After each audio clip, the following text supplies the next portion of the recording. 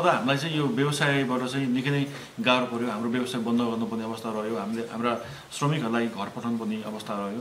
र सधैँ चलिरहेको व्यवसाय चाहिँ एका एकै एकैपटक चाहिँ यसरी बन्द हुँदाखेरि चाहिँ हामीले नसोचेको कुरा चाहिँ जिन्दगीमा कहिले पनि नसोचेको कुरा चाहिँ भयो कि हामीले चाहिँ टुरिज्मलाई चाहिँ ठ्याक्कै बन्दै गर्नुपर्ने अवस्था रह्यो। यो एकदमै दुःखद पक्ष हो। तर अहिले फेरि आन्तरिक पर्यटनको चाहिँ अलिकति प्रभाव अलिकति फ्लो बढेको छ। त्यसले चाहिँ हामीलाई केही आशा चाहिँ बढाएको छ। नेपालको पर्यटन पूर्ण रूपमा बन्द हुँदाखेरि चाहिँ हामीले चाहिँ के काम गर्न सक्छौँ कि भनेर चाहिँ मैले चाहिँ पे नाउ गो लेटर भनेर एउटा स्किम ल्याएको थिएँ। त्यो स्किम अन्तर्गत चाहिँ सम्पूर्ण होटलहरू त्यसमा आउनु सक्थे। ताकि हामीले त्यो बेला के अफर ल्याएका थियौँ भने तिन रातमा बस्दाखेरि चाहिँ एक रातको पैसा तिर्यो भने तिन रात बस्नु पाउने खालको चाहिँ एउटा नियम ल्याएका थियौँ। र मैले धेरैभन्दा धेरै होटलहरूलाई नेपालभरिका चितवन पोखरा काठमाडौँका होटलहरूलाई चाहिँ यो कुरा मैले चाहिँ यो यो यो कुरा चाहिँ मैले उहाँहरूमा पुऱ्याएँ। तर कतिले चाहिँ व्यवहारिकमा चाहिँ यो लागु हुन गाह्रो पर्छ कि भनेर चाहिँ त्यो स्किममा सहभागी हुनु भएन र मैले पछि म एक्लै भए पनि मैले यो स्किम सुरु गर्नुपर्छ भनेर चाहिँ जङ्गल सफारी लजले चाहिँ तिन रातको चाहिँ बसाइको लागि चार हजार रुपियाँमा चाहिँ स्किम आएको थियो। र त्यो स्किम चाहिँ असार महिनाभरि किन्नुपर्ने थियो। र असार महिना महिनाभरि उहाँले पे गर्नुभयो भने चाहिँ उहाँहरू चाहिँ चैत मसान्तको चैत अन्तिमसम्म चाहिँ आउन सक्नुहुन्छ भनेर चाहिँ त्यो स्किम आएको थियो। र वास्तवमा जब कि हामीले चाहिँ चार हजारमा चाहिँ प्रति रातको चाहिँ रुम बेचिरहेको बेलामा चाहिँ हामीले तिन रातको चार हजारमा दिँदाखेरि चाहिँ त्यो एउटा अफर पनि थियो। र व्यावसायिक रूपमा मैले चाहिँ त्यो बेलामा व्यवसाय केही पनि नभएको बेलामा चाहिँ उहाँबाट चार हजार पाउनु पनि मेरो लागि ठुलो कुरा थियो। र मैले त्यसरी चाहिँ स्किम चलाउँदाखेरि मैले लगभग तिन सयजना चाहिँ प्याकेज बेच्ने मौका पाएँ। त्यो भनेको लगभग बाह्र लाख रुपियाँ चाहिँ मैले असारमा चाहिँ व्यवसाय शून्य हुँदाखेरि पनि मैले बाह्र लाख रुपियाँ चाहिँ मैले चाहिँ आफ्नो खातामा चाहिँ ल्याएर चाहिँ ब्याङ्कको ब्याजदेखि लिएर चाहिँ आफ्नो चाहिँ स्टाफको खर्चहरू तिर्ने एउटा त्यो वातावरण बनेको थियो। वास्तवमा अब अहिले पनि त्यो अफर किन्ने ग्राहकहरू अहिले पनि आउनुहुन्छ। उहाँहरूले उहाँहरू तिन रात बस्नुहुन्छ जम्मा चार हजार तिरिसक्नु भएको छ।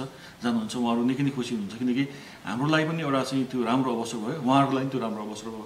यस्ता खालका रणनीतिहरू चाहिँ हामीले क्राइसिसमा ल्याउन सक्यौँ भने सक्सेस हुने रहेछ भन्ने कुरा चाहिँ मैले त्यो पाठबाट सिकेँ। र अहिले पनि अब यो त्यो राम्रो भएको कारणले अब फेरि पनि धेरैभन्दा धेरै होटलले पनि यो यो अफरलाई चाहिँ राम्रो लिएको कारणले अब मैले म मात्रै होइन अब मैले चाहिँ यो अफर फेरि ल्याएँ भने चाहिँ धेरैभन्दा नेपालभरिका धेरैभन्दा धेरै होटललाई चाहिँ समावेश गरेर ल्याउने चाहिँ एउटा फेरि योजना बनाएको छु। हामी चितवनमा चाहिँ केही समय अगाडि यो लकडाउनभन्दा अगाडि चाहिँ हामी हामीले विदेशी मुलुकका पर्यटकहरू पाउँथ्यौँ जो बढी चाहिँ इसाई धर्मावलम्बी बढी हुनुहुन्थ्यो। र सँगसँगै हामीले नेपालमा पनि इसाई धर्मावलम्बीलाई धर्मलाई चाहिँ फलो गर्ने नेपालीहरू धेरै भेटेका छौँ। र बेला बखतमा चाहिँ हामी कहाँ पनि उहाँहरू आउनुहुन्छ। र वास्तवमा धर्म सबैलाई हामी सम्मान गर्नुपर्छ। हिन्दू मुस्लिम इसाई जेसुकै भए पनि एउटा आफ्नो आस्था हो। र हामी होटेल व्यवसाय गर्नेले चाहिँ आस्थामाथि हामी सम्पूर्ण धर्मलाई उत्तिकै सत्कार गर्छौँ।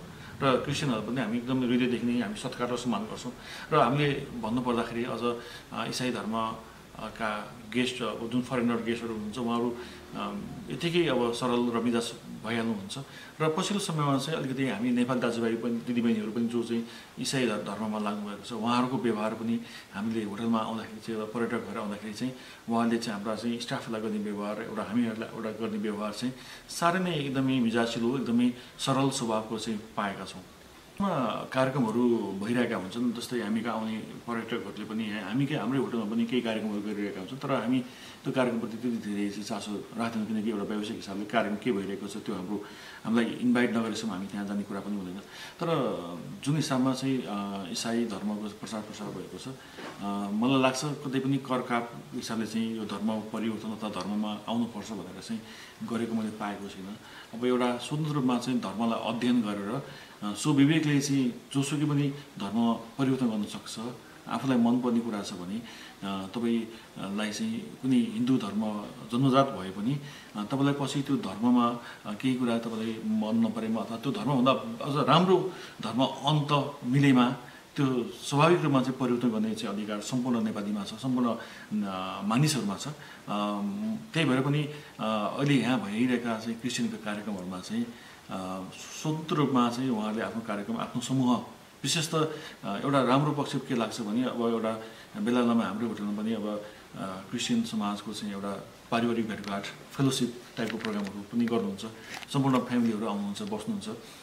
लाग्छ त्यो वास्तवमा अब हामीहरू हामी नेपालीहरू अब हिन्दू राज्यमा भएर भइरहँदा पनि हामी हिन्दू समाजमा बरु त्यस्तो खालको फेलोसिप चाहिँ अझै पनि विकास हुन सकेको छैन। कमसेकम सम्पूर्ण आफ्ना चाहिँ साथीभाइहरू बस्नुपर्छ घुम्नुपर्छ भन्ने खालको जुन चाहिँ एउटा चाहिँ स्वभाव मैले देखेँ त्यो कुरा चाहिँ एकदम राम्रो लाग्छ। र मैले अघि नै भने एउटा नेपालीहरू जुन चाहिँ क्रिस्चियन धर्म चाहिँ फलो गर्नुभएको छ उहाँहरूमा चाहिँ एकदम सरलता एकदमै मिठास र उहाँको बोली वचन एकदमै सफ्ट पाउँछु।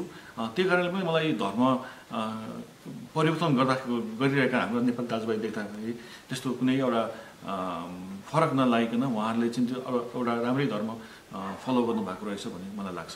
त्यही हामीले चितवन राष्ट्र निकुञ्जलाई सम्झाउनुपर्छ चितवन राष्ट्र निकुञ्ज नेपालको पहिलो राष्ट्र निकुञ्ज हो।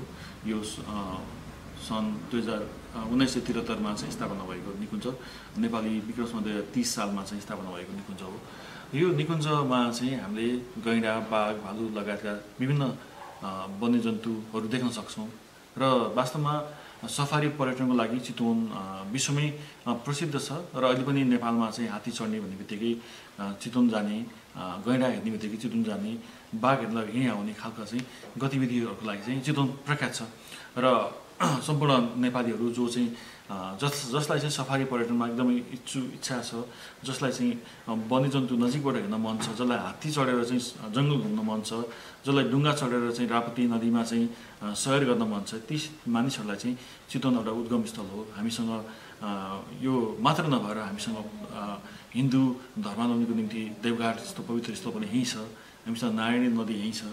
भन्दाखेरि एउटा सम्पूर्ण रूपमा चाहिँ चितवन एउटा धार्मिक सँगसँगै यो प्राकृतिक रूपमा पनि एकदमै राम्रो मानिएको चाहिँ ठाउँ हो। र चितवन आउन चाहने जुन चाहिँ सफारी पर्यटनमा आउन चाहने मानिसहरू हुन्छ उहाँहरूलाई चाहिँ चितवन राष्ट्र निकुञ्जमा हुने त्यो गतिविधिहरूले चाहिँ पकाउनु। वास्तवमा यो सौराको पर्यटन सँगसँगै हाम्रो यो व्यवसाय पनि सुरु भएको म अवगत गर्न चाहन्छु आजभन्दा अडतिस वर्ष अगाडिदेखि हामीले यो व्यवसाय सञ्चालन गर्दै आएका छौँ विभिन्न नाममा चाहिँ यो नामहरू यसको संरचनाहरू परिवर्तन हुँदै आए र अहिले हामी जुन परिसरमा कुरा गरिरहेका छौँ यसको अहिलेको चाहिँ लेटेस्ट रूप यही नै हो अहिले हामीसँग पैँतिसवटा कुरा छन् सँगसँगै हामीसँग एउटा कन्फरेन्स हल छ जहाँ चाहिँ सयवटा सयजनाभन्दा बढी मानिसहरू अटाउन सक्नुहुन्छ हामीसँग एउटा रेस्टुरेन्ट छ। हामीसँग स्विमिङ पुल छ जाडो चितवन अत्याधिक गर्मी हुने स्थान भएको कारणले चाहिँ अब अहिले हामी जाडोमा कुरा गरिरहेका छौँ कोट सोट लाउनु परेको छ जाडो छ। तर फागुन लगायतका महिनापछि चाहिँ हामी कहाँ यहाँ चाहिँ अलिकति गर्मी महिना सुरु हुन्छ र अलिकति केही न केही पानीमा डुब्न पायो भने त्यो जस्तो हुने कारणले चाहिँ अहिले स्विमिङ पुलको चाहिँ लहर चाहिँ सौरामा चाहिँ बढी चलेको छ र हामी कहाँ पनि त्यो स्विमिङ पुल छ। र हामी कहाँ पैँतिसवटा कोठामा चाहिँ हामी लगभग सबैजनाभन्दा मानिसलाई चाहिँ हामी राख्न सक्छौँ पर्यटक राख्न सक्छौँ। र हामीसँग चाहिँ सँगसँगै एउटा होटलको परिसरमा चाहिँ एटिएम कफी सप र हाम्रो चाहिँ पुरै सेक्युरिटी गार्डहरूले चाहिँ यो होटललाई सुरक्षा दिइरहेका हुन्छन्। दस कट्ठामा फिजिएको यो होटल चितवनको पुरानो होटलमध्ये